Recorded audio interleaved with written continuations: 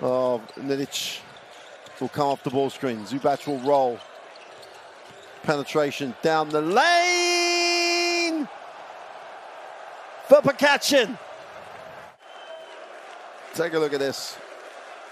Watch out.